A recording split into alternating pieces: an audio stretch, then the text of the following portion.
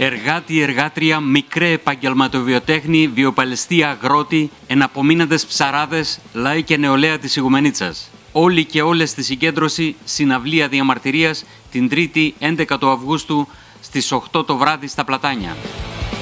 Το Εργατικό Κέντρο Θεσπρωτείας καταγγέλει τις ενέργειες της κυβέρνησης που πιάνοντας το νήμα από εκεί που το άφησε η προηγούμενη του ΣΥΡΙΖΑ προχωρεί στην ολοκλήρωση ιδιωτικοποίησης των λιμανιών. Το λιμάνι και το παραλιακό μέτωπο δίνονται βορρά στα νύχια των επιχειρηματικών ομίλων. Είναι μύθος αυτό που μας λένε ότι η ιδιωτικοποίηση θα φέρει την λαϊκή ευημερία. Πουθενά δεν έγινε αυτό.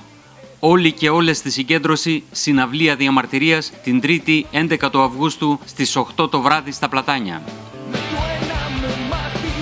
Η πείρα από την παράδοση στην Κόσκο του οργανισμού Λιμένα Πειραιά μας δείχνει χειροπιαστά ότι η ιδιωτικοποίηση έφερε αύξηση των κερδών της Κόσκο, αλλά για τους εργαζόμενους έφερε συνθήκες εργασίας γαλέρας, ελαστικά ωράρια, μεροκάματα και επιδόματα πείνας, εργατικά ατυχήματα, εντατικοποίηση και επαγγελματικές ασθένειες.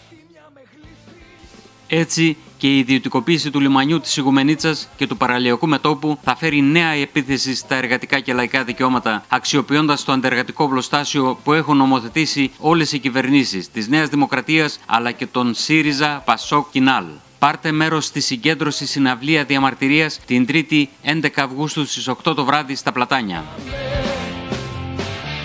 Ήρθε η ώρα να αξιοποιήσουμε την πείρα μας, να εμπιστευτούμε τις δυνάμεις μας, να μην εγκλωβιστούμε σε ψευτοαντιπαραθέσεις που έχουν ξεσπάσει μεταξύ των αστικών κομμάτων σε αποσπασματικές προσεγγίσεις. Να παλέψουμε για την ικανοποίηση των σύγχρονων αναγκών μας με βάση τον πλούτο που παράγουμε και τις δυνατότητες που υπάρχουν.